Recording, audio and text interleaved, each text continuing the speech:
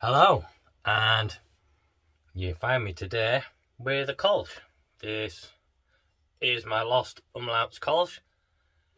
Um, this is a grain to glass. I haven't done one of these for a long time, and the reason I'm doing this is for the 28 day um, challenge set by Sarah Pantry and Graham Preston on the Facebook um, YouTube BrewTubers page. And the challenge was to just do a video um, a lot of people had sort of let it slide, not doing videos and such, myself included. And so I thought I'll have a go at doing this, and this is going to be the grain to glass video of this, my Kolsch. It's been in the keg for just over a week, it's looking good. So I'll put a little bit of brew day footage up, and also the recipe, and then we'll come back and we'll talk about that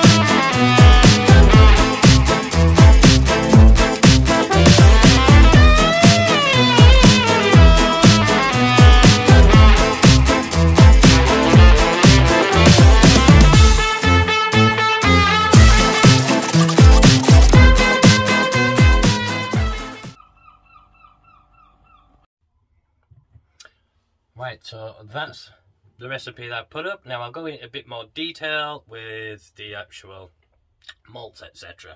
So it was four kilos of Simpson's uh, finest Pilsner malt, and then half a kilo of Weyermann's Carapils. Um, it mashed at 65C for an hour with then 10 minute mash out at 75C. Hops wise, it's all Sabro. There's 10 grams of Sabro at 70 minutes because it was a, an hour 10 boil. And that gave us 18 IBUs. There was another 10 grams of Sabro at 5 minutes to go. That gave us uh, 5 IBUs. And then there was a, a 75 C hop stand for 20 minutes with another 10 grams, giving two more IBUs, giving a grand total of 25 IBUs. Now the starting gravity is 1.051 and it got down to 1.010 giving us 5.4%. Uh, yeast use, I was going to go with the Kolsch yeast. I thought I had a Crossmyloof one, but as it turned out, I didn't. So I went with the US-05. It was only the day later I realised it was a Lallemand Kolsch yeast I actually had, but by then I'd already pitched the US-05.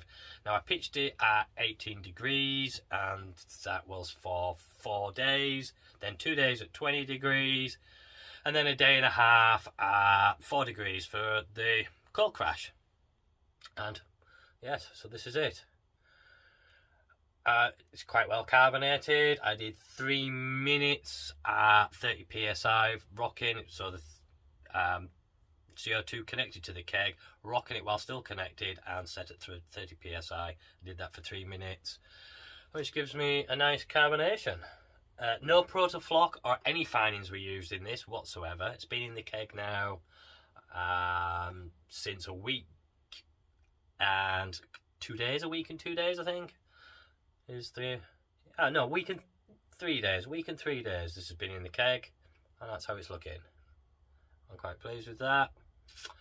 Uh, aroma, not a lot there on the aroma. We're quite clean, maybe a little touch of a, a malty aroma at best. Well, let's go in for the flavour.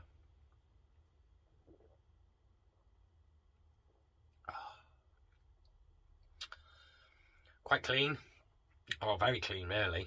Um, it's not crisp, certainly not as crisp as it would be say with a lager malt, uh, lager yeast. Sorry, uh, I'm not sure whether using uh, um, the proper Kolsch yeast would have changed it much. Um, it's clean.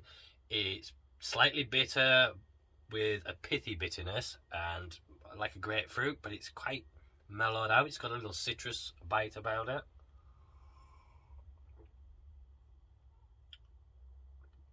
You wouldn't know it was 5%. It's got a nice mouth feel to it and a, a little bit of body.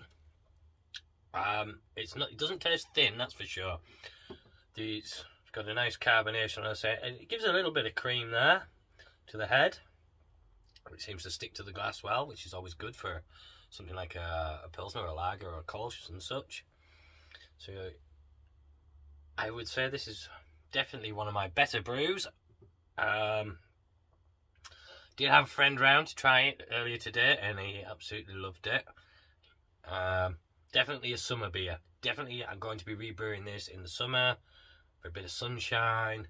I keep the sun keeps trying to peek out, and I keep trying to sit and enjoy one in the sun. But as soon as I get out there, either the sun goes in or it starts to rain or something. Um, definitely, if you fancy a, a quick, easy brew for the summer and you don't have NovaLager yeast or you don't have the ability to ferment so low, um, I recommend this recipe quite well. Yeah, definitely recommend this recipe. It's a very nice, clean, summery lawnmower beer. I mean, 5.4%, not as sessionable as it could be. Maybe drop a bit of the Pilsner malt, but for me, oh, definitely a winner. So, Thanks for watching.